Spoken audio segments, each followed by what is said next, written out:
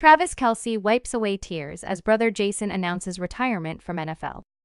Travis Kelce was overcome by emotion as he watched his older brother, Jason Kelce announce his retirement from the NFL after 13 seasons. During the press conference, which took place Monday, Jason had a tough time getting through his speech while breaking down in tears. Similarly, the Kansas City Chiefs star, who was sitting in the front row next to his parents, Donna and Ed Kelce, and his sister in law, Kylie Kelce, was also seen wiping away his tears with a tissue. The 34 year old, however, came prepared as he concealed his face with a pair of dark sunglasses. Throughout the press conference, Travis never took his eyes off his older brother as Jason reflected on their childhood and everything that led him to that moment. Like his younger brother, the legendary Philadelphia Eagles center, 36, got choked up the second he sat down at the podium, taking a minute to compose himself before reading off his pre written speech. Jason reflected on his love for football and the city of Philadelphia, as well as the impact of playing in the NFL with Travis. It was really my brother and I our whole lives.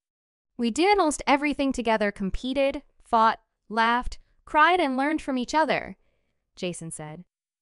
We invented games. Imagine ourselves as star players of that time. We envisioned making winning plays day after day. We won countless Super Bowls in our minds before ever leaving the house. And when we weren't playing, we were at the other one's games. The now retired NFL star also reflected on the brothers' 2023 Super Bowl matchup, in which Travis and the Chiefs came out victorious. I won't forget falling short to the Chiefs and the conflicting feeling of immense heartbreak I had selfishly for myself and for my teammates, Jason said with tears in his eyes. And at the same time, the amount of pride I had that my brother had climbed the mountaintop once again.